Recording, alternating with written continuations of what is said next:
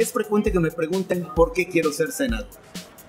Tengo la convicción que si uno es más, tiene que ser por los demás.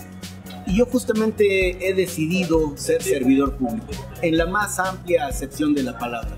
Ser alguien que desde el gobierno, desde la administración pública, pueda facilitarle la vida al resto, pueda hacer que el poder sea útil en la medida en que le cambie positivamente la vida a las personas, que sus expectativas se puedan convertir en realidad.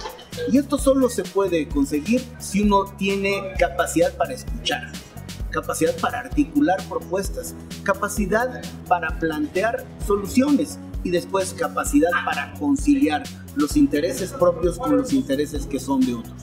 Son los intereses de las y los mexiquenses a quienes me precio de conocer.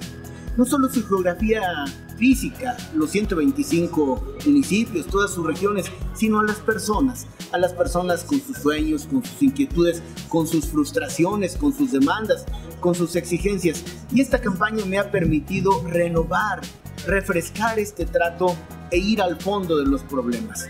Sé muy bien dónde están las dolencias y sé también cuáles pueden ser las soluciones. Vota por César Camacho.